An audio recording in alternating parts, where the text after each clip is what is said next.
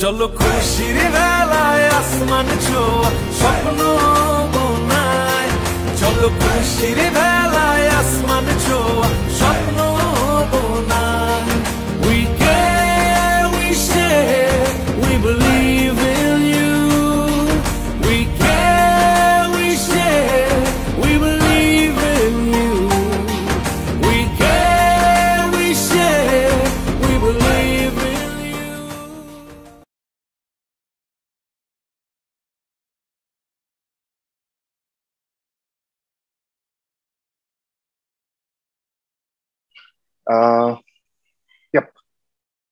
শুভ সন্ধ্যা।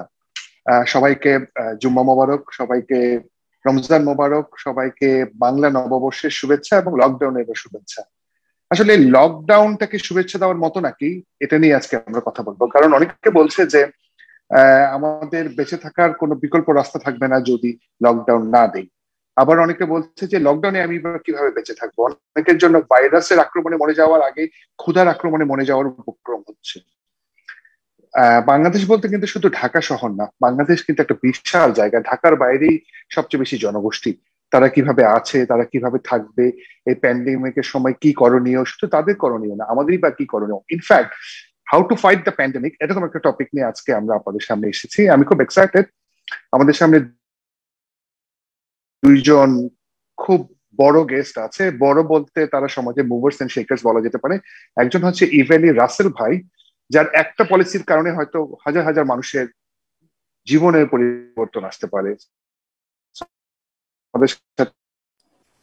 আজকে আছে রাসেল ভাই এবং আছে তাহসান খান। চমৎকার সোশ্যাল আর একটা দিক নির্দেশনার কারণে হয়তো দেখা যাবে হাজার হাজার মানুষের চিন্তাধারা পরিবর্তন আসতে পারে। So I am really honour to have both of you as a guest today so Tahsan ভাই কে আমরা লাইভে এখনই পেয়ে যাব। সালাম আলাইকুম তাহসান ভাই। সালাম আলাইকুম রাসেল ভাই। জি ওয়ালাইকুম আসসালাম আসসালাম। জি। কেমন আছেন? আমি আগে রাসেল ভাইকে দিয়ে শুরু করি। কেমন আছেন রাসেল ভাই? আলহামদুলিল্লাহ। আহ, একটু তো টাফ টাইম যাচ্ছেই সবার জন্য। তারপরেও আহ, আমরা ই কমার্স আমাদের একটা আলাদা রেসপন্সিবিলিটির জায়গা তৈরি হয়েছে। ওই জায়গা থেকে আগাচ্ছি। ইনশাল্লাহ আমরা শুরু করি দেন আমাদের অবস্থাটা কথা বল- আলোচনার প্রসঙ্গে সব চলে আসবে ইনশাল্লাহ। চমৎকার। তাহসান ভাই আপনি কেমন আছেন? প্যান্ডেমিকের সময় আসলে ভালো আছি বলাটা অনেকের চেয়ে অনেক ভালো আছি আহ, এবং আহ, ভালো থাকার চেষ্টা করছি অনেস্ট আনসার না চমৎকার। আপনার কি আপনি কেমন আছেন? স্মল লার্নিং যে এই সময় থ্যাংক ইউ ভেরি মাচ আমি ভালো আছি। এই যে বললাম না এই সময় ভালো আছি বলাটাই আসলে একটা বড় ব্লেসিং অনেকে হয়তো এই সময় কেউ অসুস্থ ফ্যামিলির অথবা কারোর জন্য আইসিইউ খুঁজে পাচ্ছে না অথবা বাসায় খাবার নেই, সুতরাং এই সময় ভালো আছি, একমাত্র আসলে মানে ব্লেসিং মনে করে সবাইকে আসলে খুশি হওয়া উচিত। তো আজকের আড্ডায় আমরা শুরু করার আগে আমরা একটু, আমরা নেক্সট স্টেজে আলাপ করছিলাম যে কি নিয়ে কথা বলব। তো হঠাৎ করে আমাদের একজন বলে উঠল যে আমরা পারব, এই লাইনটা নিয়ে আমরা একটু কথা বলব। এখন আমরা পারব খুব ইন্টারেস্টিং একটা লাইন খুব দুটো ইন্টারেস্টিং একটা শব্দ। আমরা পারবোর পরে যদি বিস্ময়বোধক একটা চিহ্ন দেই, তার মানে কি আমরা আসলে পারব? মানে উই আর ইন ডাউট যদি তার পিছনে যদি প্রশ্নবোধক একটা চিহ্ন দেই, তাহলে হয়তো আমরা পারব মানে প্রচণ্ড কনফিউশন থেকে। আবার আমরাই পারবোর পরে যদি একটা দাঁড়িয়ে দিই, তার মানে ইট হাজ বিকাম এ স্টেটমেন্ট তার মানে আমরা পারব। তো আসলে আমরা এটা নিয়ে আজকে কথা বলব। আমি ফার্স্ট রাসেল ভাইয়ের কাছে যেতে চাই। রাসেল ভাই, এই প্যান্ডেমিকের সময় মানে থিওরিটিক্যালি আমরা যদি একটু মানে আমরা যারা টুকটাক সমাজে কথাবার্তা বলি, আমরা বলি যে হ্যাঁ আমরা পারব, আমাদের পারতে হবে। আমরা যদি ঠিক মতো ট্যাক্স দিই, বাংলাদেশ আগাবে, আমরা যদি দুর্নীতি না করি, এগুলো কিন্তু থিওরিটিক্যাল টক্স কিন্তু এই প্যান্ডেমিকের সময় আসলে আমরা পারব বলতে আপনি কি বুঝাচ্ছেন? অথবা আপনার কি ধ্যান ধারণা? এটা নিয়ে যদি আপনি একটু বলেন। জি আরিফ ভাই, ধন্যবাদ। দেখেন, আমি ব্যক্তিগতভাবে আমরা শব্দটাতে এত বিশ্বাসী ছোটবেলা থেকেই তো ওর প্রেক্ষাপটে আমি ধরেন, আমিও কিন্তু ভাবতেছি যে এই যে প্যান্ডেমিক সিনারিও এই সিনারিওর আসলে এন্ড কি? দেখেন, একদিকে যদি আমরা বলি দুইটা নিউজ মানে প্যারালালি আমি সোশ্যাল মিডিয়াতে দেখতেছি। একটা হচ্ছে যে আজকে প্রায় একশো জনের বেশি আমাদের মাঝ থেকে চলে গেলেন, করোনা আক্রান্ত হয়ে মানে একশো জন মারা গেছেন। সো এগুলো, এনারা কিন্তু আমাদেরই কোনো আত্মীয় স্বজন, ভাই বোন বা কেউ। সেই সেই সিনারিটা যেমন একদিকে দুঃখ দেয় আবার আরেকটা দিক দেখেন যখন কোনো সোশ্যাল মিডিয়াতে দেখি যে বাস শ্রমিক তার ইনকামের অভাবের কারণে খাবার পাচ্ছে না অথবা দৈনিক যারা মজুর বলি আমরা যারা ডেইলি ইনকাম করে, যাদের আসলে কোনো সেভিংস থাকে না, তাদের একদিন বসে থাকলে একদিনের খাবার না খেয়ে থাকতে হবে। তো ওই শ্রেণীটার কথাও কিন্তু আমাদের মাথায় আসতেছে। সো আমরা একটা এমন একটা সিনারিওর মধ্যে থেকে যাচ্ছি যেখানে আসলে আমি বলব যে খুব নর্মাল কোনো সিনারিও না। আমরা যদি ইকোনমিকে ফ্রি করে দিই, আমরা যদি চলাচল উন্মুক্ত করে দিই, তাহলে মৃত্যুর হার হয়তো বেড়ে যাবে। আবার মৃত্যু ঠেকাতে যে দেখা যাচ্ছে যে আমরা আরেকটা অন মানে ক্ষুধার অভাবে মৃত্যুর একটা যন্ত্রণার দিকে হয়তো চলে যাব। এই জায়গা থেকে না আমার আমি আরিফ ভাই আপনাকে বলতেছিলাম যে আমরাই পারি আসলে। আমরা কীভাবে পারি? ধরেন আমি হয়তো একা পারব না, আপনি হয়তো একা পারবেন না, বা আরও আমরা যারা আছি, সবাই হয়তো আমরা ভাবি যে আমি আমি, সবাই না করলে তো আমি পারব না। তো সবাই যেরকম, যদি করতো, কাজ করতো, তাহলে পারতো। আমি একটা একটা সমাধান বলি। ধরেন এমন যদি হতো যে, আমরা নিজেরাই আসলে চোদ্দ দিনের কোয়ারেন্টাইনে যেতাম, সবাই। আমি একটু উদাহরণস্বরূপ বলি। ধরুন, এখন এখানে যে দুইটা মেজর চ্যালেঞ্জ যে যারা খাবার পাচ্ছে না, তাদের কি হবে? আমাদের কি মনে হয় না যে আমাদের যারা সামর্থ্যবান আছি আমরা, তারা চাইলে, তারা যদি কন্ট্রিবিউট করি সবাই সত্যি যদি করতে পারতাম, তাহলে কি আসলে এই আমরা যারা আমাদের সামর্থ্য আছে, তারা কি যাদের সামর্থ্য নাই, তাদেরকে চোদ্দ দিন খাওয়ানোর মতো সামর্থ্য আমরা রাখি না, সরকারের পাশাপাশি। আমরা শুধু সরকারের দিকে তাকাই থাকি যে সরকার কিছু করুক। এই সরকার তো আসলে আমাদের দিয়েই তৈরি। আমরা যদি কোঅপারেট না করি, সরকার একার পক্ষে দেখেন একটা সরকারের কতজন মানুষ বা কতটুকু তহবিল? কিন্তু আমরা যদি ধরেন চল্লিশ লাখ মানুষ আরও চার কোটি মানুষকে খাওয়াতে পারি, দশ দিন খাওয়ানোর মতো সামর্থ্য রাখে এরকম অ্যাটলিস্ট চল্লিশ লাখ মানুষ আমাদের সমাজে আছে। আমি জানি না এটা পসিবল কিনা, আমরা পারব কিনা। আপনি প্রথমে যেটা বললেন আরিফ ভাই যে এইখানে একটা, আপনি খুব সুন্দর একটা সাইন দিয়েছেন, একটা বিস্ময় মার্ক একটা কোশ্চেন যে আসলে কি আমরা পারি কিনা অথবা একটা স্টেটমেন্ট এত চমৎকার ভাবে আপনি বলছেন, এটা এটা সত্যি যে আমরা আসলে পারব কিনা আই এম নট শিওর কিন্তু ভাবতে তো মানে দোষ নাই বা ভাবার জায়গা থেকে তো লিমিটেড থাকার সুযোগ নেই। এমন যদি হতো যে আমরা সবাই প্রতিজ্ঞা করলাম যে আমরা চোদ্দ দিন বের হব না, কিন্তু সেই জায়গা থেকে, আমি জানি না পসিবল কিনা, আমি আবারও বলি, কিন্তু আমরা যারা সামর্থ্যবান আছি, তারা অ্যাটলিস্ট দশ জন বা বিশ জনের খাবার দায়িত্ব যদি আমরা নেই যারা পারতাম মানে যাদের সামর্থ্য আছে, তাহলে দেখেন একদিকে যেরকম মৃত্যুর হারটাও হয়তো অনেকাংশে কমানো যেত এবং সত্যিকার অর্থে বলতে টেকনিক্যালি তো চোদ্দ দিন কোয়ারেন্টাইন বাংলাদেশকে রাখা গেলে চোদ্দ দিনের জায়গায় হয়তো বিশ দিন লাগবে। কিন্তু এইটা তো সত্যি, যদি বিশ দিন আমরা সত্যি সবাই ঘরে বসে থাকি, তাহলে করোনাকে হার আমরা এই বিশ দিনেই মারাতে পারি। এটা তো মিথ্যা না। এখন হয়তো আমরা পারতেছি না, হয়তো আমরা ক্ষুধার জন্য পারতেছি না। তো এই জায়গা থেকে না আমি ওইটাই বলতে চাই, হয়তো আমরা চাইলেই পারি, আমরা হয়তো পারব। আমি জানি না ঠিক এক্স্যাক্টলি কে আগায় আসতে হবে বা কীভাবে আমরা আগায় যেতে পারি। আমার কাছে ডিরেক্ট কোনো সমাধান নেই, কিন্তু আমার আত্মবিশ্বাস যে আমরা চাইলে আসলে পারি এই করোনাকে মোকাবেলা করতে, এই ক্ষুদাকে মোকাবেলা করতে রিপিক এটাই ছিল আমার, আসলে আমরাই পারি স্টেটমেন্ট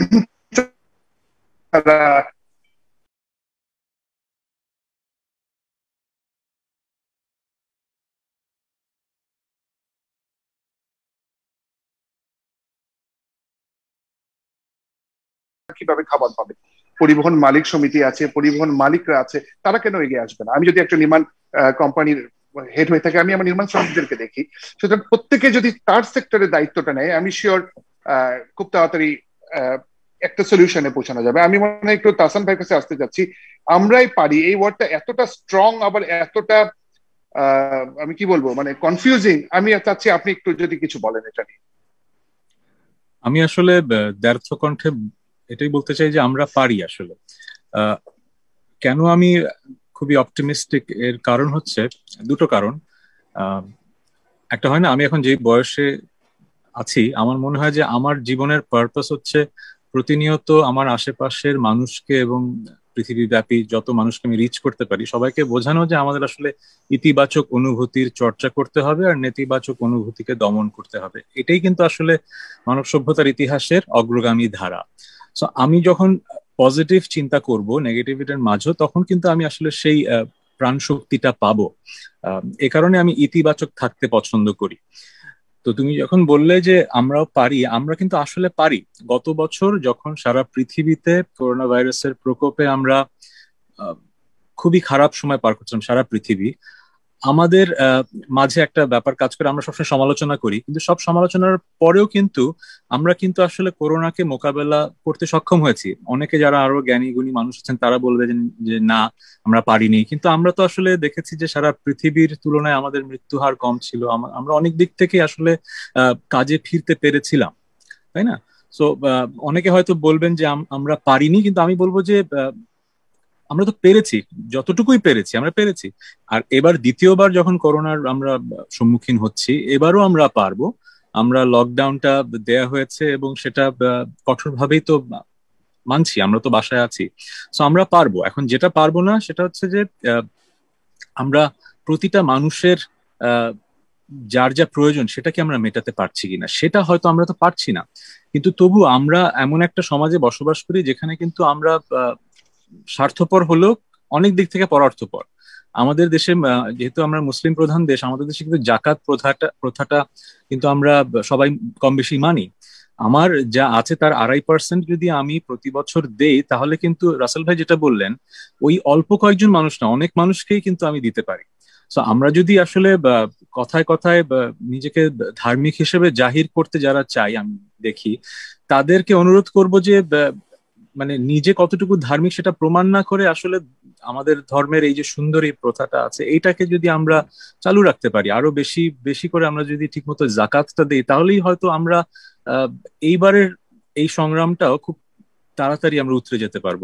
রাসেল ভাই যেটা বললেন যে বিশ দিন ঘরে থাকলে আমরা ভাইরাসটাকে দমন করতে পারছি। কিন্তু সাধারণ মানুষের যে ক্ষুধার জ্বালা, সাধারণ মানুষের জীবন জীবিকার যে জ্বালা, সেটা তো আর আমরা ঘরে বসে থাকলে মেটাতে পারব না, সেটা আমরা কীভাবে পারব? যারা আমরা সমাজের প্রতিষ্ঠিত আছি অথবা যাদের সুযোগ আছে, তারা আমরা ওই মানুষগুলোর পাশে দাঁড়াবো। সেটা আমাদের মনের তাগিদ থেকেও দাঁড়াতে পারি, সেটা ধর্মীয় অনুশাসন মানার জন্য দাঁড়াতে পারি এবং সেটা যদি দাঁড়াই আমার ধারণা, আমরা এবারও পারব খুব শীঘ্রই এই করোনার প্রকোপ থেকে নিজেদেরকে ফিরিয়ে আনতে। চমৎকার মানে আসলে আমি আমি কোথায় জানি একবার পড়ছিলাম যে আমরা যদি ঠিক মতো জাকাত দেই, তাহলে এর পরের বছর কিন্তু জাকাত দেওয়ার মতো মানুষই থাকবে না, যদি আমরা ঠিক মতো দিতাম। তো এখানেও আমাদের কিছু লুপ ফল আছে, আমরা হয়তো ঠিক মতো গাইড গাইডেন্সগুলো পাচ্ছিলাম না আমাদের ইয়েদের কাছ থেকে but this is a very good way out যে প্রতি বছর প্যান্ডেমিক থাকুক আর না থাকুক ঠিক মতো জাকাত দিলে কিন্তু আসলে আশেপাশে কয়েক বছর যদি কন্টিনিউ করা যায়, তাহলে কিন্তু জাকাত নেওয়ার মতোই লক্ষ্য থাকবে না। আমি ফিরে আসতে চাচ্ছি রাসেল ভাইয়ের কাছে।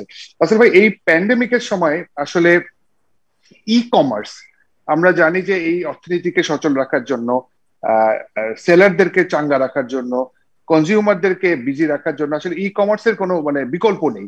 এই সময় মাথায় রেখে আপনারা কি আমাদের শেলফ গুলোকে একটু আলাদা রকম করেছেন? মানে আমি যদি আবার অন্যভাবে বলি যে, এখন যদি প্যান্ডেমিক না হতো, এখন আপনার ই কমার্সের শেলফে যে যে প্রোডাক্টগুলো থাকতো, এখন প্যান্ডেমিকের কারণে কি আপনি ব্যতিক্রম কিছু আনার চেষ্টা করছেন? আমি যদি একটু ইন শর্ট আপনার থেকে শুনে নিই।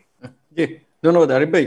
দেখেন ওই, এই আজকের ট্যাগলাইন থেকেই আমি বলি যে এই ইভ্যালি কিন্তু আমরার একটা অংশ। আমরাও দেখিয়েছি যে আমরা পারি এই প্যান্ডেমিক টাইমে গত বছরও আমরা এক্সপ্রেস সব দিয়ে পুরো দেশে আমরা গ্রসারি সার্ভিস দিয়েছিলাম। এবার টেকনিক্যাল কারণে সেটা না করলেও আমরা কিন্তু স্বপ্নের থ্রুতে ক্যাশ অন ডেলিভারিতে উইদিন টু আওয়ার্সে ডেলিভারি পেতে পারেন। এই অপশনটা আমরা প্যান্ডেমিক সিনারিওকে সামনে রেখে খুব দ্রুত শুরু করে দিয়েছি। এছাড়া আমরা মানুষের প্রয়োজনের কথা চিন্তা করে আমাদের ছেলেপেলেরা তাদের নিজেদের কিছুটা ঝুঁকি নিয়ে হলেও আমাদের অপারেশনস কিন্তু ফুললি রানিং আমরা এখন দৈনিক প্রায় পঁচিশ থেকে তিরিশ হাজার অর্ডার মানে মিনিমাম পঁচিশ হাজার অর্ডার আমরা এখনও ডেলিভারি করে যাচ্ছি। আমরা কিন্তু ডেলিভারি মানে স্পিডটা আরও বাড়িয়ে দিয়েছি। আমরা এখানে চেষ্টা করেছি যে দেখিয়ে দিতে যে আমরা পারি আসলে সময়ের সাথে বা প্রয়োজনের সাথে ইভ্যালি নিজেকে গুছিয়ে নিতে পারে। আমাদের আমি অবশ্য ধন্যবাদ জানাই আমাদের কাস্টমারদেরকেও যে তারা আমাদের এই প্যান্ডামিক সিচুয়েশনে তাদের ফুল ফেথ রেখে এবং আজকেও আমাদের যে সাইক্লোনটা হচ্ছে, সেখানে আমি দেখলাম যে প্রায় লক্ষ লক্ষ ভিজিটার্স ওনারা শপিং করতেছেন। এবং আমি জানি আমাদের কিছু লিমিটেশনস আছে। আমরা হয়তো যেই স্টাইলে পারা উচিত, সেই স্টাইলে হয়তো পারতেছি না আমাদের সার্ভিসটা দিতে। কিন্তু ডে বাই ডে আমরা কিন্তু আমাদের ডেভেলপমেন্টটা চালিয়ে যাচ্ছি। সো ই কমার্স এই সময় যেই ভূমিকাটা, ধরেন একটু ডিফারেন্ট ওয়েতে যদি আমি বলি যে আমরা হয়তো সব লোকরে ঘরে বসায় আলাদা করে আইসোলেশনে নিতে পারব না।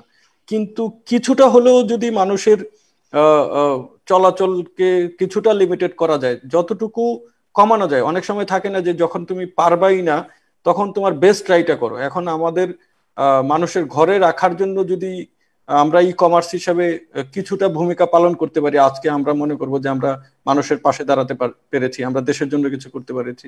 আমাদের ডিজিটাল বাংলাদেশ করার যে স্বপ্ন, সেই স্বপ্নর কে এগিয়ে নেওয়ার নেওয়ার জন্য যা কিছু করা সেগুলো আমরা করতে পারছি। সো আমরা যদি আজকে এক লাখ মানুষকেও ঘরের বসে সার্ভিস নেওয়ার সুযোগ দিই, আমি মনে করি এক লাখ মানুষ অন্তত বাহিরে না যে ঘরে বসে তার সেফটি এবং সিকিউরিটি মেনটেন করে সে বাজার করতে পারতেছে এই ইভ্যালের থ্রুতে সো আমরা চেষ্টা চালিয়ে যাচ্ছি। আরিফ ভাই, ইনশাল্লাহ আমাদের কাস্টমারকে মানে আমাদের সার্ভিসটা ডে বাই ডে আমরা বেটার দিতে পারব। না, চমৎকার। তাসা ভাই রাসেল ভাই যেটা বলল, সেটা তো মনে করেন যে প্রোডাক্টগুলো দিচ্ছে হচ্ছে ফিজিক্যাল ওয়েলবিং এর প্রোডাক্ট যে হয়তো আমাকে ট্রেডমিল দিচ্ছে, আমি হাঁটছি, অথবা আমাকে পাউরুটি দরকার, পাউরুটি বাসায় এসে পৌঁছে যাচ্ছে। কিন্তু মেন্টাল ওয়েলবিং একটা বড় জায়গা, যে গ্যাপটা এখনও আমাদের মাঝে রয়ে গেছে। আমার যখন কোনো শরীর খারাপ হয়, আমার বন্ধুরা বলে যে, ডাক্তার দেখা কিন্তু মন খারাপ হইলে বন্ধুরা বলে, চল লং ড্রাইভে যাই, একটু ভালো মতো ঘুমাই। এখানে যে হিউজ একটা গ্যাপ আছে এবং এই সময় যে ডিপ্রেশন বলি ফ্রাস্ট্রেশন বলি এইটার জন্য আসলে আমরা কি করতে পারি? কাসিম ভাই? গত বছর তো আমরা অনেকটা সময়, লম্বা সময় ঘরে বন্দি ছিলাম।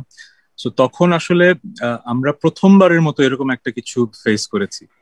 এবং এ কারণে মেন্টাল ওয়েলনেস নিয়ে কথাবার্তাও কিন্তু অনেক বেশি হয়েছে। এবং যে যার জায়গা থেকে কিন্তু কাজ করার চেষ্টা করেছে। যেরকম রাসেল ভাই বললেন যে প্যান্ডেমিকের সময় ঘরে থাকার জন্য অনলাইন শপিংটা যেরকম একটা ব্লেসিং এর মতো ছিল, সেরকম আমার মনে হয়েছে যে যে যার ফিল্ডে থেকে কিন্তু ঠিক কাজটা করার চেষ্টা করেছে। যেরকম আরিফ তুমি একটা অনলাইন অকশন করেছিলে। সো তোমার জায়গা থেকে you have done something to raise awareness raise money তুমি সেটা করেছ। কারণ you can bring together people who can do good for the nation আমি আমার জায়গা থেকে কি করেছি? আমার মনে হচ্ছে আমি একজন এন্টারটেইনার আমরা এন্টারটেইনার যারা সারা বাংলাদেশের জন্য কাজ করি, আমরা কিন্তু খুব একটা লাইভে পারফর্ম করতে চাই না। লাইভ টিভিতেও কিন্তু আমরা পারফর্ম করতে চাই না। কারণ হচ্ছে যে, আমাকে মানুষ আসলে সামনাসামনি কনসার্টে দেখবে, সেটাই আসলে আমার প্রকৃত পরিচয় কিন্তু একজন শিল্পী হিসেবে। কিন্তু যখন দেখা গেল আমি বাসায় আছি, তখন কিন্তু শুধু আমি না, সারা পৃথিবী ব্যাপী কিন্তু আর্টিস্টরা বাসা থেকে কিন্তু আমরা পারফর্ম করলাম। আমরা কিন্তু বাসা থেকে বিনামূল্যে মানুষকে বিনোদন দেওয়ার চেষ্টা করলাম। আসলে মেসেজটা কি থ্রু করলাম? সেটাই। আমরা যে যার জায়গায় আছি, সবাই যেহেতু একটা সমস্যার মাঝে আছি, এই সময় মেন্টাল ওয়েলবিং এর জন্য একে অপরের পাশে থাকতে হবে। সো আমি একজন আর্টিস্ট হিসেবে আমার ভক্তদের পাশে যেভাবে থাকতে পারি অনলাইনে পারফর্ম করা, আমি সেটাই করেছি। এখন অনেকে সমালোচনা করেছে আমার ফিল্ডেরই, বলেছে আপনারা ফ্রি ফ্রি লাইভে যে যে তো কনসার্টের মার্কেট নষ্ট করে দিচ্ছেন। এখন আমার কথা হচ্ছে বেঁচেই থাকছি না আমরা আমরা ইমোশনালি সুস্থ থাকছি না, আমরা আট দশ মাস কনসার্ট করব না। এখন এই সময় এটাই আমার মনে হয়েছে আমি ঠিক কাজটাই করছি। এখন অনেকে আমার সাথে একমত হননি শুরুর দিকে। আমি সেটা বুঝেছি তাদের কারণটা, কারণ সবারই তো আসলে এটা প্রফেশন আরেকজন হয়তো তার জায়গা থেকে তিনি ডিসিশন নিয়েছেন, তিনি এরকম করবেন না। কিন্তু আমার জায়গা থেকে মনে হয়েছে, আমার ওই সময় ওইটা করাই কিন্তু শ্রেয় ছিল। আমরা কিন্তু যারা মিউজিশিয়ান তারা কিন্তু প্রায় আট মাস, নয় মাস কিন্তু আমরা পারফর্ম করতে পারিনি। আমি না হয় আরও অনেক কিছু করি বিনোদনের, অনেক জায়গায়। সবাই তো করে না।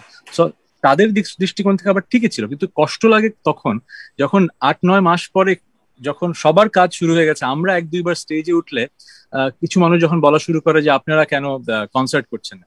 মানুষ কিন্তু এটা দেখছে না যে আমরা আট দশ মাস কনসার্ট না করে থাকলাম। আমরা সব সবাই দেখছি সব ফিল্ডে সবাই কাজ করছে। আমরা যখন একটা প্রোগ্রামে অ্যারেঞ্জ করা হচ্ছে কেউ না কেউ ওখানে বক্তৃতা দিবেন তার ফাঁকে আমরা যখন গান গাইতে গেলাম তখনই দেখছি আমাদের প্রতি একটা নেগেটিভ অ্যাজ ইফ সারা বাংলাদেশের সবকিছু স্থবির। আট মাস পরে কেন একবার উঠলাম স্টেজে গান করতে? এটাই আমার মনে হয় সবচেয়ে বড় ভুল ছিল। এ কারণে আমার মনে হচ্ছে যে যার জায়গা থেকে ঠিক কাজটা করব, সমালোচনা যার করার সে তো করবে আমার কাজ হচ্ছে আমি যতক্ষণ পর্যন্ত বুঝতে পারছি এটা আমার দিক থেকে ঠিক কাজ, আমি সেটা করব। এখনও সে একই অবস্থায় আবার শুরু হয়ে যাচ্ছে, আমরা লকডাউনে থাকব। অনেকেই বলবেন যে এখন কি আবার লাইভে গান গাওয়া শুরু হবে কিনা হোয়াট এভার আমার মনে হয় যে আর্টিস্ট চায় যে সে তার ফ্যান্সদের পাশে থাকবে মেন্টাল ওয়েলনেস এর জন্য বিনোদনের অসম্ভব প্রয়োজন। সো সে থাকবে। আর যে থাকতে চায় না সে থাকবে না। কিন্তু তুমি যে কথাটা বললে মেন্টাল ওয়েলনেস এটা কিন্তু আসলে শুধু বিনোদন দিয়ে হবে তা কিন্তু না। বিনোদন ছাড়াও কিন্তু প্রত্যেকটা মানুষের আত্মসমালোচনা, আত্মিক শুদ্ধির সময় কিন্তু এটা। কারণ আমরা সারাদিন ঘরে আছি, অনেক চিন্তা করতে পারছি। যখন সারাদিন কাজে ব্যস্ত থাকি, তখন কিন্তু আসলে নিজেকে নিয়ে ভাবার, পৃথিবীকে নিয়ে ভাবার সুযোগটা কম থাকে। এখন কিন্তু সেই সুযোগটা আছে। আবারও আমরা সেই সুযোগ পাচ্ছি। আমার মনে হয়েছিল গত বছর যখন আমরা এত দিন ঘরে থাকব, আমাদের সবার মন মানসিকতা কিন্তু একটু পাল্টাবে। সবাই একটু কম ম্যাটেরিয়ালিস্টিক হব, সবাই একটু বেশি পরার্থপর হব, সবাই একটু বেশি সঞ্চয়ী হব, সবাই একটু বেশি সহমর্মিতা নিয়ে কাজ করব, বোঝার চেষ্টা করব, আমার চেয়ে যে একটু খারাপ অবস্থায় আছে তার কথা চিন্তা করব। কিন্তু যখনই দেখা গেল যে আমরা প্যান্ডেমিক থেকে বেরিয়ে আসছি, তখনই আবার কিন্তু পুরনো জীবনে আমরা ফেরত চলে গেলাম। এ কারণেই হয়তো প্যান্ডেমিক আবার যখন আসলো, আমরা, আমার মনে হয়েছে যে আসলে গত বছরের প্যান্ডেমিক থেকে শিখলামটা কি? খারাপ একটা সময় পার করলাম, আমরা ভালোবাসার মানুষদের হারালাম কিন্তু এর বিনিময়ে আমাদের মাঝে যে আত্মিক শুদ্ধিটা আসার দরকার ছিল, সেটা তো আসলে খুব একটা আসলো না। আবারও তো সেই র্যাক রেসে আমরা দৌড়াতে শুরু করলাম। তো আমাদের কিন্তু সেকেন্ড টাইম আবার আমরা এই জায়গাটা এসছি।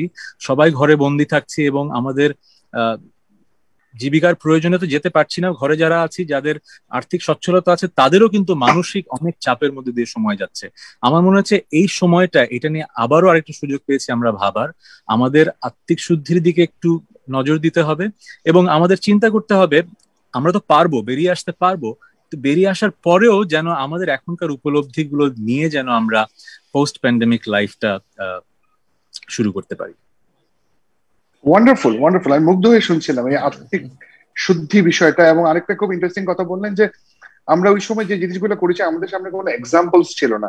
যেমন আমরা বলি যে সোশ্যাল মিডিয়া এটিকেটস এই যে প্যান্ডামিক এটিকেটসগুলো আপনারা যারা ইনফ্লুয়েন্সার তারা যে সেট করেছেন সেটার জন্য আমি আপনাদেরকে ধন্যবাদ জানাই। আমি প্যান্ডামিক এটিকেটস নিয়ে একটু পরে আরও কথা বলব যে এই সময় আসলে কি করা উচিত মানুষকে কীভাবে বুস্ট আপ করা উচিত নিজের আর্থিক শুদ্ধি কীভাবে করা উচিত।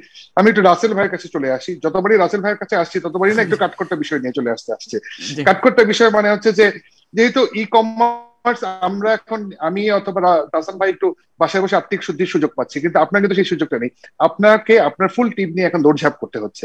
আমি একটু আগে দেখছিলাম যে আপনি ই কমার্সের মধ্যে শুধু ই ভ্যালি না প্রচণ্ড মজার মজার বেশ কিছু ই উইং খোলা আছে E food E jobs E health E khata E bazar কয়েকদিন আগে আবার ই একাডেমি আপনি যদি ইন শর্ট এই প্যান্ডেমিকের সময় কাজে লাগবে, এরকম দুই একটা আপনার এই উইংগুলা নিয়ে যদি একটু বলেন যে কীভাবে মানুষকে হেল্প করতে পারে।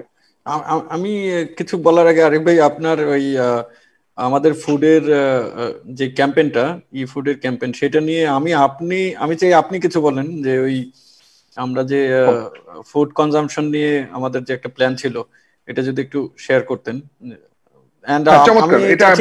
আমি আমার আপনার কাছে আমার একটা কোশ্চেন আছে যে আমি অনেক আগে থেকে আপনার ফলোয়ার এবং আমি বলব যে আমি যখন ব্যাংকার ছিলাম মানে প্রায় ফাইভ ইয়ার্স সেভেন ইয়ার্স হবে আর কি। তখন থেকে আমি আপনাকে ফলো করি এবং আপনার প্রচুর সোশ্যাল অ্যাক্টিভিটিস দেখি। সো এই আপনার ইন্সপাইরেশনের জায়গাটা কি ছিল? এটা যদি একটু আমাদেরকে বলতেন। এবং সেই জায়গা থেকে আমরা আসলে কীভাবে এই সোশ্যাল অ্যাক্টিভিটিসে ইন্সপায়ার হতে পারি সেটাও যদি একটু জানাতেন। মানে আমি জানি যে আপনি কোশ্চেন করবেন এটা আপনাকে ওই কি জানি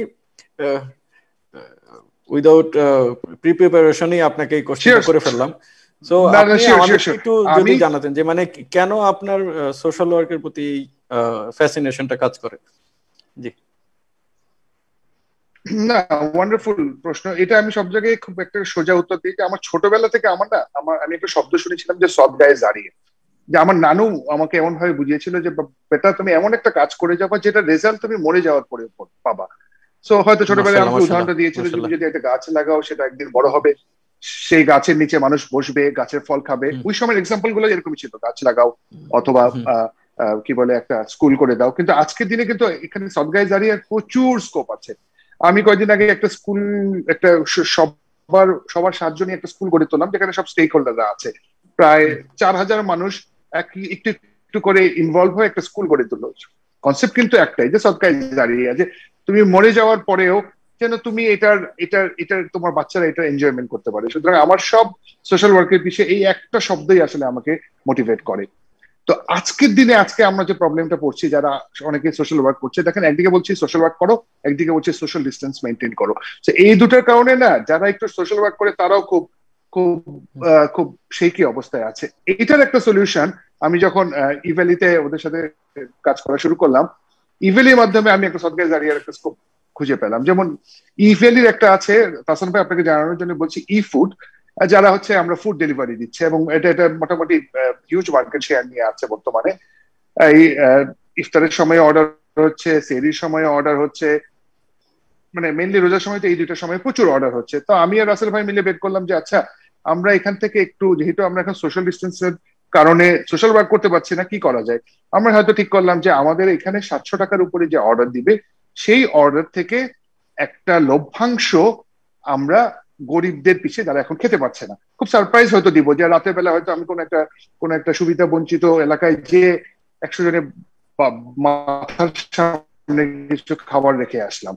অথবা এখন এখন সোশ্যাল ডিস্টেন্স মেনটেন করতে গিয়ে এক্সিকিউশনগুলো তো আমাদের পক্ষে সম্ভব না। তখন হচ্ছে আমরা একটা স্টেক হোল্ডারকে নিলাম, যেমন বিদ্যানন্দকে নিয়ে আমরা এই কাজটা শুরু করেছি। So this is a learning যে এখন যারা একটু টুকটাক সোশ্যাল ওয়ার্ক করছে, তারা যদি বলে যে, ভাই গভর্নমেন্টই তো বলছে সোশ্যাল ডিস্টেন্স মেনটেন করে, আমি কীভাবে সোশ্যাল ওয়ার্ক করব? This is the right time আপনার যে নেটওয়ার্কসগুলো আছে, আপনি যতগুলো পারেন স্টেক হোল্ডারকে অনবোর্ড করেন, দেখবেন একটা সুন্দর কাজ করতে পারবে। তো আমি এই এই কথা বলার সুযোগে আমি আসলে আমাদের ফুড এবং বিদ্যানন্দ নিয়ে বানানো আমাদের ওবিসিতে একটু দেখিয়ে দিতে যাচ্ছি। আমাদের বিহাইন্ড দ্য সিন যে আছে, সে একটু জাস্ট তিরিশ সেকেন্ডে ওবিসিতে একটু ছাড়বেন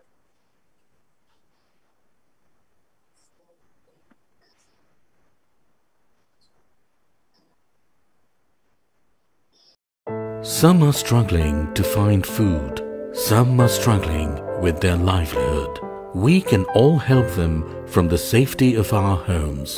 This Ramadan, for every order worth 700 taka or above, eFood is adding one extra meal in Biddananda Foundation's Noble Cause. Let's work together and make a difference.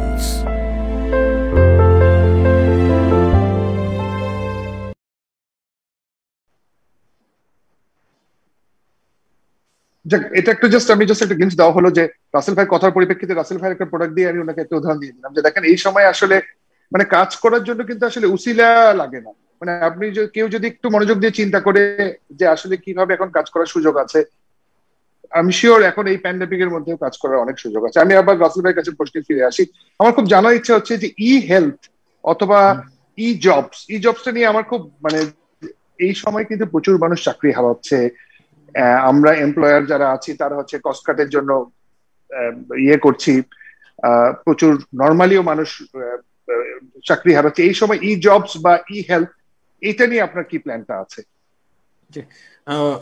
আচ্ছা আমি direct এই কোশ্চেন অ্যান্সার দেওয়ার আগে আমি আমার লাইফের আরেকটা ফিলোসফি একটু শেয়ার করতে চাই। সেটা হচ্ছে পজিটিভিটি এই ওয়ার্ডটাকে আমি একটু শেয়ার করতে চাই যে, আমরা না যদি একটু পজিটিভ থাকি সবকিছুতে, একটু সহনশীল হই। আমরা অনেক সময় দেখা যাচ্ছে যে আমাদের ফ্যামিলির প্রতি পজিটিভ থাকি না, আমরা ফ্রেন্ডসদের প্রতি পজিটিভ থাকি না, আমরা হয়তো আমাদের এমপ্লয়ারের প্রতি পজিটিভ থাকি না। সো এই জায়গা থেকে আমার মনে হচ্ছে যে পজিটিভিটি টোটাল সোসাইটিকে চেঞ্জ করে দিতে পারে। হয়তো আজকে আমি পুরোটা এক্সপ্লেন করতে পারব না, কিন্তু আমি এই ওয়ার্ডটা না মানে অ্যাবসলুটলি বিলিভ করি। সো আমি ব্যক্তিগতভাবে খুব পজিটিভ থাকার চেষ্টা করি যে যখনই আমি আমি কোন একটা সিচুয়েশন দেখি, ধরেন এখন ন্যাশনাল ক্রাইসিস বলা চলে, এই সময় কিন্তু প্রচুর মানুষ জব হারাবে। আবার এটাও সত্যি যে, আমি পজিটিভ সাইডটা কোনটা দেখতেছি যে মানে প্রচুর আবার জব ক্রিয়েটও কিন্তু হচ্ছে ই কমার্সে জব ক্রিয়েট হচ্ছে, বা অনলাইনে অনেকে আসতেছেন অনলাইন কেনা বেচা বেড়ে যাচ্ছে। আবার আরেকটা জিনিস আমি খুব গত বছর প্যান্ডামিক শুরুতে আমি বলেছিলাম যে আমাদের না ন্যাচারাল কোনো ডিজাস্টার হয় নাই। আই মিন ধরেন, আল্লাহ মাফ করুক, আমি একটু যদি উদাহরণ দিয়ে বলি, আমাদের কোনো ভূমিকম্প হয় নাই, আমাদের কোনো সাইক্লোন মানে বেসিকলি ইভ্যালিতে সাইক্লোন চলতেছে বাট এমন কোনো সাইক্লোন হয়নি যেতে ন্যাচারাল কোনো ডিজাস্টার সো এই ধরনের ইকোনমিক হল্টেড সিচুয়েশন বলে এইটাকে এই ইকোনমিক হল্টেড সিচুয়েশনে না সাময়িক একটু কষ্ট হয়। কিন্তু আমি গত বছর একটা উদাহরণ দিয়েছিলাম, এই বছর সেটা হয়েছিল। দেখেন আমি বলেছিলাম যে যেসব হোটেল কক্সবাজারের এখন বিজনেস পাচ্ছে না, যারা সার মানে স্ট্রাগল করতেছে প্যান্ডামিক সিনারিও হওয়ার পরে দেখা যাবে নেক্সট টু ইয়ার্স এর বুকিং দেওয়াটাও ডিফিকাল্ট হয়ে যাবে। মানে এই যে ইকোনমিক একটা হল্টেড সিনারিও তৈরি হয়, এটা না আবার রিকভারি করে ফেলে, করা যায়। সো আমি এই জন্য এই পজিটিভিটির কথা চিন্তা করে এই জবসের একটা প্ল্যাটফর্ম আমরা লঞ্চ করি যে আমরা এখন থেকে অ্যাপ্লাই করা শুরু করি।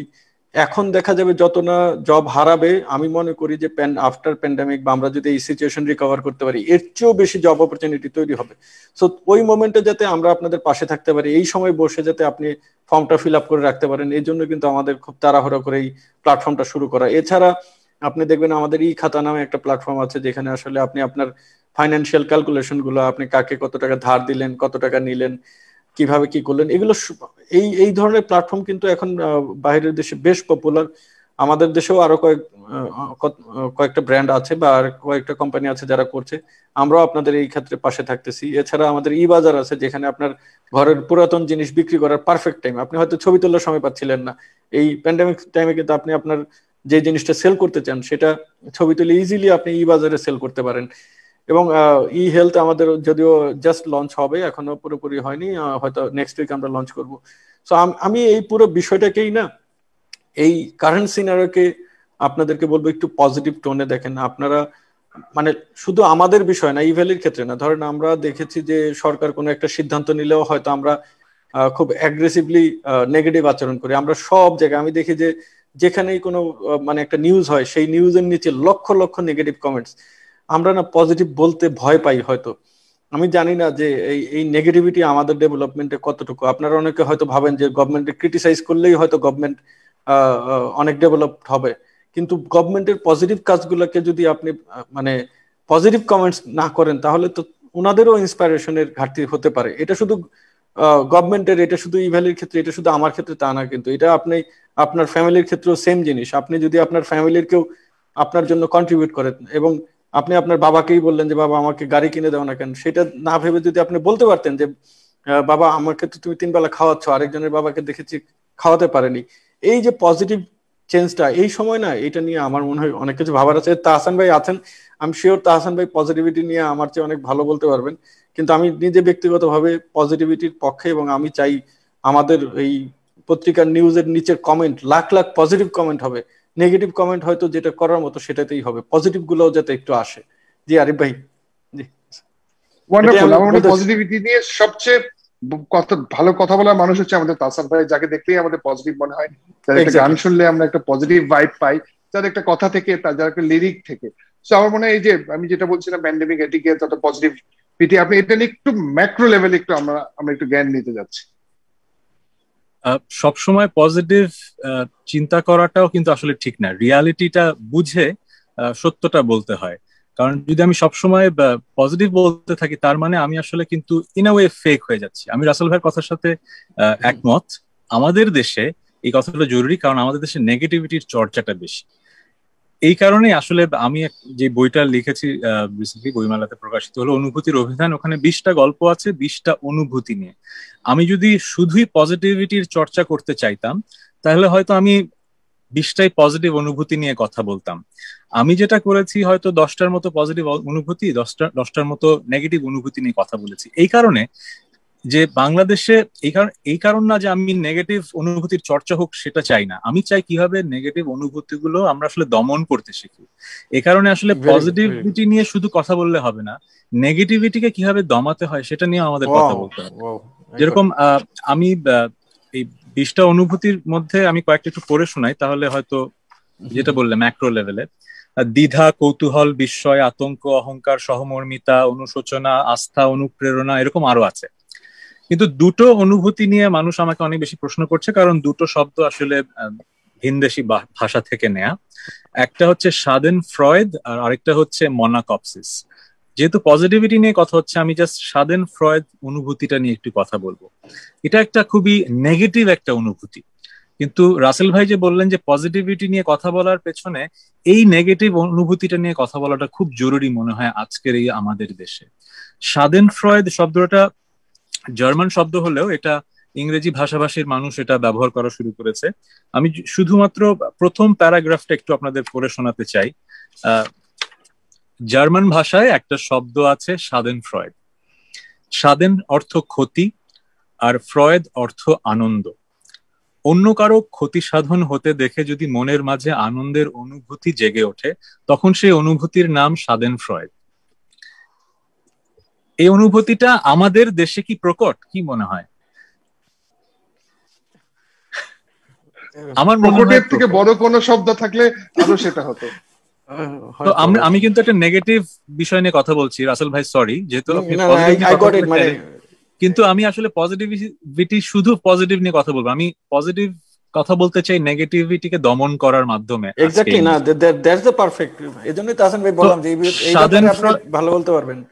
তো স্বাধীন ফ্রয়েড শব্দটা যদিও আমাদের ভাষায় নেই কিন্তু এটা আসলে আমাদের মাঝে প্রকট। আমি এটার দুটো উদাহরণ দেই।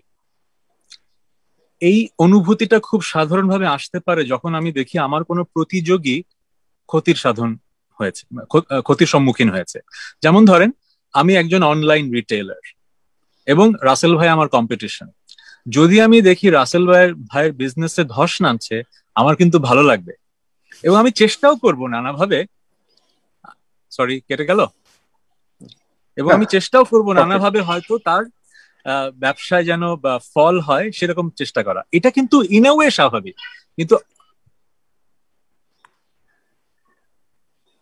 হ্যালো সরি হ্যাঁ কিন্তু অস্বাভাবিক হচ্ছে সেটা যে আমি যখন সরি আমার ফোনে একটু ঝামেলা হচ্ছে। অস্বাভাবিক হচ্ছে সেটা যখন আমার সাথে ওনার ইন্ডাস্ট্রির কোনো সম্পর্ক নেই আমি হয়তো ব্যবসায়ী না আমি অন্য একটা ফিল্ডে কাজ করি কিন্তু যখন আমি দেখব যে ওনার কোম্পানির ক্ষতি সাধন হচ্ছে আমার তাও ভালো লাগছে।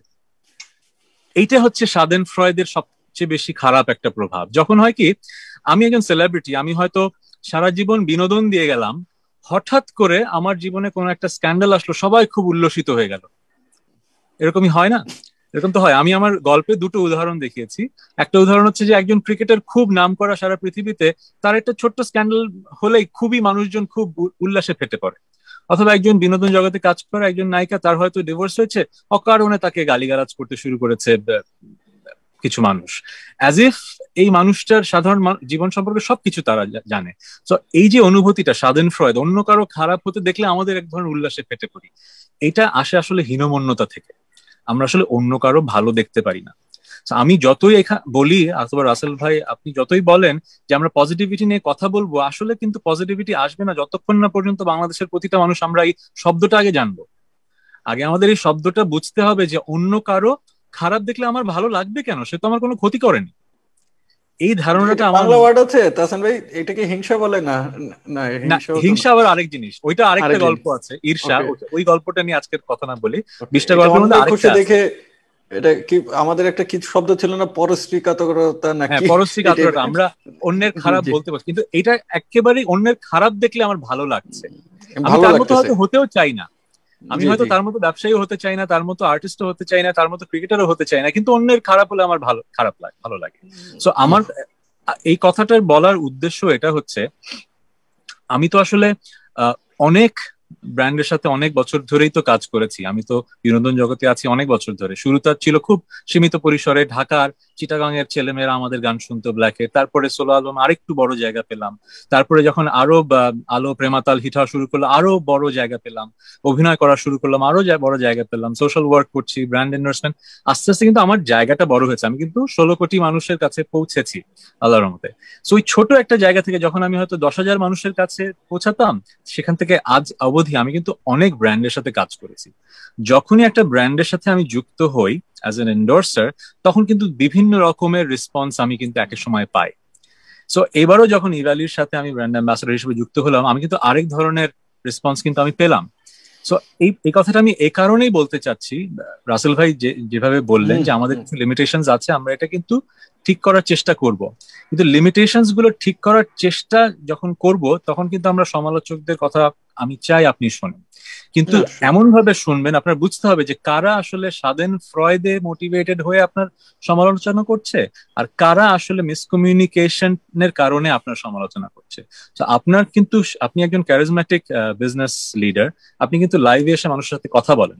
তো আমার মনে হয় আপনার ওই কাজটা আরও বেশি করা জরুরি। যারা স্বাধীন ফ্রয়েদের কারণে আপনার খারাপ চাচ্ছে আপনার ইভ্যালির মতো প্রতিষ্ঠানটা যেন না বড় হয় সেটা চাচ্ছে। তাদেরকে বোঝানো যে আসলে ইভ্যালি বাংলাদেশের একটা প্রতিষ্ঠান। অ্যামাজন যদি পৃথিবীর সবচেয়ে বড় কোম্পানি হতে পারে ইভ্যালি কেন দুই তিন বছরে এত বড় হয়েছে? ইভ্যালি কেন বাংলাদেশের সবচেয়ে বড় প্রতিষ্ঠান হবে না? এবং ইভ্যালি। কেন বাংলাদেশ থেকেও আরও বড় পরিসরে চিন্তা করবে না? এটা আমার মনে হয় আপনার দিক থেকে আসা উচিত এক। আর আরেকটা যেটা হচ্ছে যেগুলো গঠনমূলক সমালোচনা সেগুলো নিয়েও আপনার কিন্তু চিন্তা করতে হবে এবং সেগুলো নিয়ে মানুষকে বোঝাতে হবে যে এই যে আপনি পয়েন্টটা আমাকে দিলেন এইটার ভিত্তিতে আমরা এই কাজটা করছি। আমার মনে হয় you are a very capable person and you can do that যে কোনো ব্যবসার সাথে যখন আমি এন্ডোর্সার হিসেবে হই সেই কোম্পানির কিন্তু কমপ্লেন্সগুলা একজন অ্যাম্বাসেডার হিসেবে আমার কাছেও আসে। এবারও কিন্তু এসছে। কিন্তু অ্যাম্বাসেডার হিসেবে আমার আপনার কাছে অনুরোধ, যেটা আমি অন্য হয়তো অনেক কোম্পানিকে করতেও পারতাম না, যেটা আপনি সুন্দর এভাবে মানুষের সামনে এসে কথা বলছেন ওপেন কমিউনিকেশন করছেন। সো আমিও ব্র্যান্ড অ্যাম্বাসেডার হিসেবে আপনাকে এই অনুরোধটা করব। আপনার কিন্তু মানুষের ওই গঠনমূলক সমালোচনাগুলো নিয়ে খুবই তাড়াতাড়ি টার্ন অ্যারাউন্ড টাইমটা আনতে হবে এবং যেন ইভ্যালি ব্র্যান্ডের উপর আমরা যেরকম বিশ্বাস করি, সেই ব্র্যান্ডের উপর বিশ্বাসটা যেন সবার খুব তাড়াতাড়ি আরও নিবিড় হয়। সেই অনুরোধটা এবং আমি বিশ্বাস আপনি আমি পজিটিভ আপনি সেটা পারবেন। না না শিওর শিওর থ্যাংক ইউ ভাই জি না ওয়ান্ডারফুল আমার গঠনমূলক সমালোচনার শব্দটা শুনে একটা লাইন মাথায় আসলো যে জিনিসটা কিন্তু আসলে সেটা হতে হয় বৃষ্টির পানির মতো যেটা গাছকে বেড়ে উঠতে সাহায্য করবে উপড়ে ফেলতে না। কিন্তু আমরা না জাতি হিসাবে কেন জানি মানে সমালোচনা জিনিসটার মধ্যেই নাই। ইদার ওকে ধরে মানে পিটাও, গালি দাও, অথবা চুপ থাকো। কিন্তু এই সমালোচনা জিনিসটা যে কত ইউজফুল একটা জিনিস ব্যক্তি গঠনের জন্য, প্রতিষ্ঠান গঠনের জন্য। আমি ইভেলির যারা ইয়ে আছে তাদেরকে বলছি আপনার প্লিজ গঠনমূলক সমালোচনা করেন।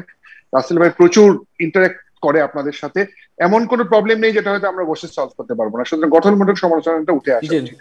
আর তাসান ভাইয়ের ওই যে সাদেন ফ্রয়েড থেকে আমার খুব পজিটিভ একটা জিনিস নিতে পেরেছি। সেটা হচ্ছে যে আমার ধারণা ছিল বাঙালিদের মধ্যেই শুধু এই সাদেন ফ্রয়েড আছে। কিন্তু না শব্দটা জার্মানি তার মানে জার্মানির জাতির মধ্যেও ছিল। আমাদের আপসেট হওয়ার কিছু নাই। ওই জাতির মধ্যে যদি এটা থাকার পর তারা ওখান থেকে বের হয়ে আসতে পারবে ইনশাল্লাহ আজকে যেহেতু আমাদের টপিক আমরা পারি আমরাই পারি সুতরাং আমরা হয়তো একদিন স্বাধীন পয়েন্ট থেকে বের হয়ে আসতে পারব। আমি আবার রাসেল ভাই কাছে চলে যাচ্ছি। রাসেল ভাই আমরা বেশিক্ষণ প্রোগ্রামটা হয়তো টানবো না।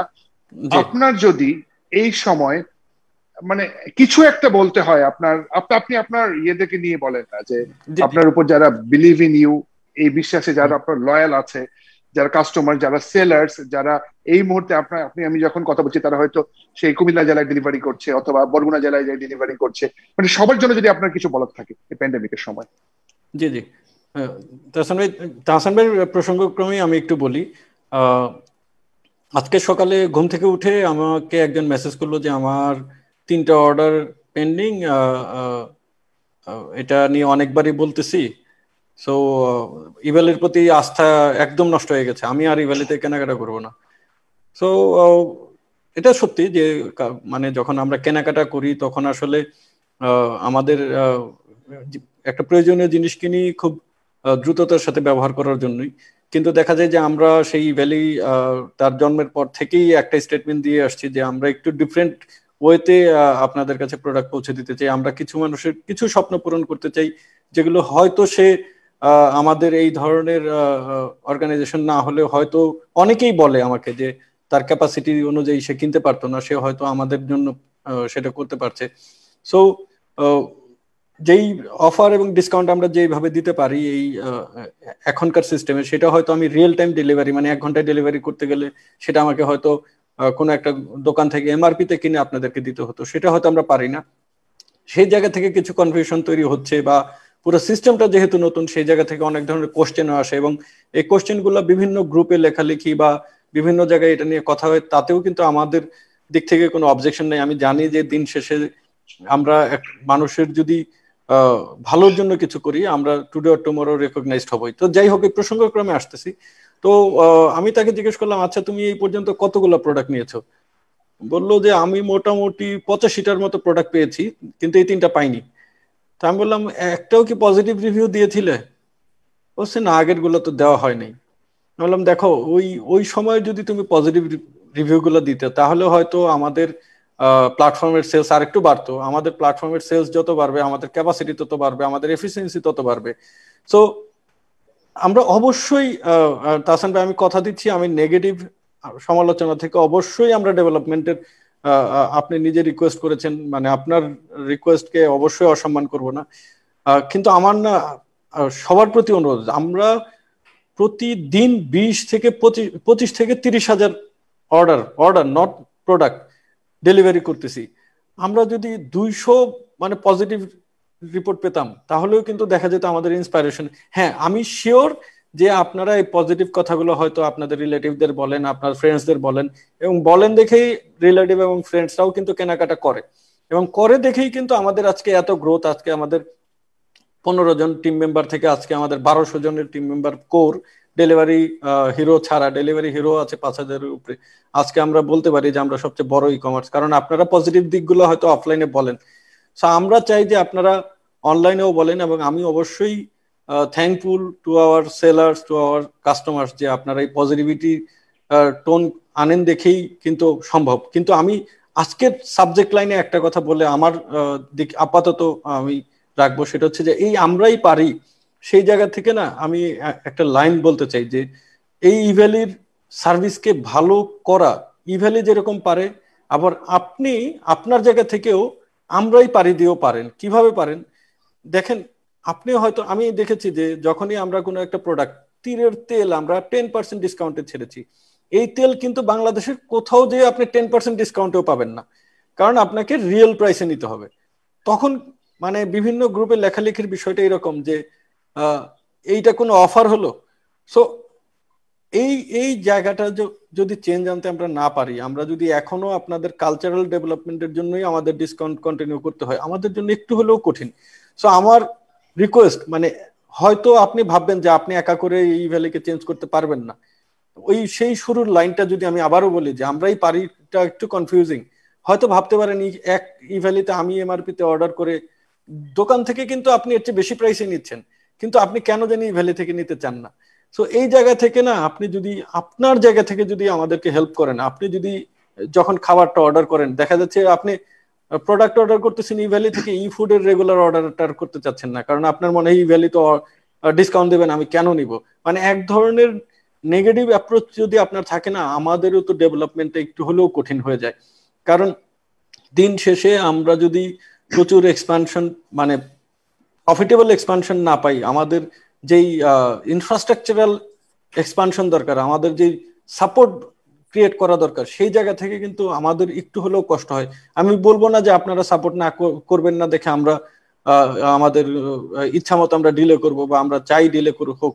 বাট এই এই ইভ্যালিকে কিন্তু আপনি চেঞ্জ করে ফেলতে পারেন। এই ইভ্যালিকে আমরা সবাই মিলে চেঞ্জ করে ফেলতে পারি।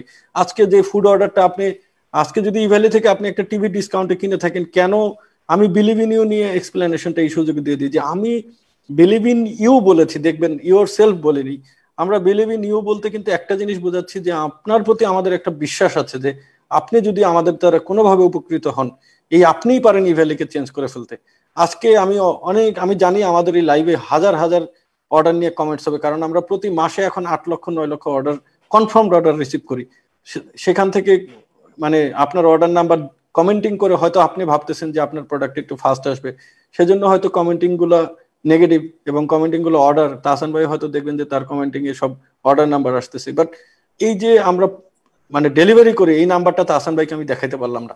এই যে প্রতিদিন তিরিশ হাজার করে অর্ডার ডেলিভারি হচ্ছে, সেই নাম্বারটা কিন্তু তাহসান ভাইকে আমরা দেখাতে পারছি না। এটা আপনি পারেন, আপনারা পারেন এবং আমরা পারি। এই আমরাই পারি শব্দটাকে। আসলেই আমি অনেক গুরুত্বের চোখে দেখতেছি। এই আমরাই পারি এই ভ্যালিকে আনপ্যারালাল এবং সবচেয়ে বড় প্ল্যাটফর্ম তৈরি করতে এবং বেস্ট সার্ভিসের একটা প্ল্যাটফর্ম তৈরি করতে আমরা সবাই মিলে পারি। আরে ভাই থ্যাংক ইউ যে আপনি এই ধরনের একটা সাবজেক্ট লাইন তৈরি করেছেন। না না, চমৎকার। আমি তাসান ভাইয়ের কাছে যাওয়ার আগে উনার একটা কথা ধরে আমি একটু বলি। এটা কিন্তু শুধু ওনার ক্ষেত্রে না, সব ক্ষেত্রেই। আমরা যদি একটু পজিটিভিটিটা ছড়াই, এখন অনেকে সোশ্যাল ওয়ার্কের ক্ষেত্রে বলে, যেহেতু এটা আমার ফিল্ড এই জন্য আমি এটা বলছি যে তোমরা যে দান টান করো, এটা তো কোরআন শরীফে লেখা আছে, ডান হাত দিয়ে দান করলে বাম হাত যেন টেন না পায়। সেটার উত্তরে আমি খুব একটা উত্তর প্রায় সবাইকে বলি যে, দেখেন, আপনার করা একটা পজিটিভ জিনিস দেখে যদি অন্য মানুষের ডান হাতটা এগিয়ে আসে, যার ডান হাতটা অব্যবহৃত ছিল, সেটা কি সমাজে হেল্প করবে না? সুতরাং this is also a theory যে হ্যাঁ ঠিক আছে সব জায়গায় পজিটিভিটি ছাড়াতে হবে। সেটা ই কমার্স হোক, আপনি সোশ্যাল ওয়ার্কের ক্ষেত্রে হোক, আপনি যদি কিছু কাজ করে থাকেন, আজকে যদি আপনার দারোয়ানটাকে হেল্প করে থাকেন, আজকে যদি একটা রিক্সা চালককে আপনি একটা এক বোতল পানি কিনে দিয়ে দেখেন, অবশ্যই এই জিনিসগুলা মানুষকে জানাবেন। মানে যত জানাবেন, তত দেখবেন সেই সকল মানুষরা এগিয়ে আসবে যাদের ডান ডান হাতগুলো অবহেলিত আছে। তো শেষ করার আগে আমি একটু তাসান ভাইয়ের কাছে চলে যেতে চাই। আজকে টপিকটা খুব ইন্টারেস্টিং এক জায়গায় চলে গেল। আমরা how to fight the pandemic থেকে শুরু করে পজিটিভিটি সেখান থেকে মাঝখানে সাদেন ফ্রয়েড ঢুকে গেল। খুশিও লাগল যে আমরা আইডেন্টিফাই করতে পারছি আমাদের আসলে লুপ হোলটা কোথায়। তো আপনি যদি একটু শেষ করার আগে একটু এই সোশ্যাল ভ্যালুস ফ্যামিলি ভ্যালুস আপনি যদি আবার আমি বারবার আপনাকে এতটা আমার পছন্দ সবকিছুতে মাইক্রো লেভেলে চলে যেতে চাই। সো আপনি যদি একটু পজিটিভিটি নিয়ে মাইক্রো লেভেলে আবার কিছু একটা বলে শেষ করতে চান। আচ্ছা থ্যাংক ইউ আরিফ আমার একটু একটা ফোন এসেছিল বলে স্পিকারটা প্রবলেম হচ্ছে আমি শুনতে পাচ্ছি না। আমি মনে হয় বুঝলাম শুনতে পাচ্ছেন আমাকে? শুনতে পাচ্ছেন? হ্যাঁ একদম শুনতে পাচ্ছি। শেষ করার আগে আপনি পজিটিভিটি নিয়ে আচ্ছা। যদি কিছু বলতে চান হ্যাঁ রাসেল ভাই যেটা বলছিলেন যে আমরা নেগেটিভ রিভিউ দেই বেশি এবং পজিটিভ কথা কম বলি এটা নিয়ে আজকে আমার একটা ঘটনা ঘটেছে এই সপ্তাহে বেশ কিছু মানুষ জ্ঞানীগুণী মানুষ ফেসবুকে লেখালেখি করছেন একটা বিষয় নিয়ে যে আমাদের বই মেলাতে কোন বইগুলো সবচেয়ে বেশি বিক্রি হয়? এবং কি ধরনের বই বিক্রি হয় সেটা নিয়ে অনেক কথা হচ্ছে। একটা হচ্ছে যে ইংরেজি শিক্ষার বই এবং ইসলামিক বই বিক্রি হচ্ছে বেশি। সাহিত্য চর্চা যারা করেন, তারা বলছেন যে আসলে তাহলে তো বাংলাদেশে নতুন প্রজন্মে সাহিত্য চর্চাটা হচ্ছে না। এই নিয়ে অনেক লেখালেখি হচ্ছে। এবং খুবই কটু ভাষায় সমালোচনা হচ্ছে যারা হয়তো ইংরেজি দক্ষতা নিয়ে বই লেখে বা অন্য কিছু নিয়ে বই লিখছে। সো যে একজন মানুষ আমার পরিচিত, তিনি সমালোচনা করছিলেন এই বিষয়ে। আমি তাকে বললাম যে, ভাই, আপনার গত তিন, চার, পাঁচ বছরে আপনার কি কোনো বই কখনো ভালো লাগেনি? আপনি কি কখনো সেটার কোনো পজিটিভ রিভিউ লিখেছিলেন? এখন আমার এই কথাটা কাউকে অপমান করার জন্য আমি কথাটা বলি না আমি জাস্ট এই কারণে বলেছি, আমরা মনে হয় কি যখন সমালোচনার সুযোগ পাই, মন উজাড় করেও সমালোচনা করি। আর যখন কিছু প্রশংসা করার সুযোগ পাই, আমরা এত বেশি কার্পণ্য দেখাই মানে এই দৈন্যতাটা থেকে বেরোয় আসতে হবে। সো রাসেল ভাইয়ের কথার সূত্র ধরেই বলতে চাই, যখন ভালো কিছু হচ্ছে, আমাদের তো উচিত আমাদের নিজেদের মানুষ, নিজেদের দেশের কোম্পানি যখন ভালো করবে, আমরা তো সেটা আরও বেশি করে ভালো বলব যেন কোম্পানিটা দাঁড়াতে পারে। হ্যাঁ সেই কোম্পানির প্রতিযোগী যারা, তারা না হয় এই কোম্পানির ক্ষতি চাবে। কিন্তু আমি একজন সাধারণ মানুষ হিসাবে কেন একটা কোম্পানির ভালোটা না দেখে শুধু খারাপটা দেখব? আর খারাপটার কারণে একদম টেনে হিচড়ে নামাতে চাইব কেন? আমরা চাইব একজন রাইটার হোক, একজন ব্যবসায়ী হোক, একজন আর্টিস্ট হোক, একজন সরকারি কর্ম কর্মকর্তা হন, যেই মন্ত্রণালয়ের হন, সবাই তো আসলে কেউ তো দেশের, আমরা তো খারাপ চাই না, আমরা তো ভালো চাই। আমরা খারাপটা ধরিয়ে দেব, সমালোচনা করব, কিন্তু যখন ভালোটা হবে, তখন যদি আমরা প্রশংসা না করতে শিখি, তখন কিন্তু আসলে ভালো মানুষগুলো ভালো কাজে স্পৃহা হারিয়ে ফেলবে। তো ওই কথাটাই রাসেল ভাইয়ের কথার সূত্র ধরেই, যারা ভালো দেখছেন, তারা ভালো কথাগুলো বলবেন। আমি ভালো দেখলে সাথে সাথে বেশি করে অন্য কারও ঢোল পেটাতে চাই। কারণ আমার মনে হয় যে, আমার ফিডব্যাকের কারণে সে হয়তো ভালো কাজের অনুপ্রেরণাটা আরও পারবে। আর চারিদিকে নেতিবাচকতা এত বেশি যে আসলে ভালো মানুষগুলো এই পৃথিবীতে আস্তে আস্তে আমার কেন মনে দমে যাচ্ছে। তো রাসেল ভাই যেটা বলে যে পজিটিভ কথাটা আসলে বলতে হবে। যখন প্রশংসার সুযোগ পাবো আমরা কারও আমরা যেন প্রশংসা করি। এটাই হয়তো আমার ম্যাক্রো লেভেল থেকে চমৎকার। আমি দুজনকে ধন্যবাদ জানাচ্ছি। আরে ভাই আমি একটু শেষ করে ফেলছিলাম। আমি একটু টানি। আমি এই আজকের প্রোগ্রামে একটা কথা একদম না বলেই পারলাম না আর কি সেটা হচ্ছে কি আমাদের বর্তমান সরকার। মানে এই যে আমরা এত বিজনেস করতেছি, আমাদের এই ইন্টারনেটের অ্যাক্সেস এবং আজকে নয় কোটি ইন্টারনেট গ্রাহক যদি না থাকতো, আজকে যদি আমাদের ইনফ্রাস্ট্রাকচার না থাকতো, তাহলে কিন্তু আমরা এই এই ই কমার্স করার প্ল্যান করতেই পারতাম না। আমরা পিছিয়ে থাকতাম। আমাদের দেখেন, আমাদের বর্তমান প্রধানমন্ত্রী, উনি যে আমাদের জন্য কি করতেছেন, সেই জায়গা থেকে যদি আমরা ওনাকে অ্যাপ্রিসিয়েশন না করি বা অ্যাপ্রিসিয়েট না করি, তাহলে আমার মনে হবে যে আমরা আমি আমার জায়গা থেকে হয়তো ভুল করতেছি।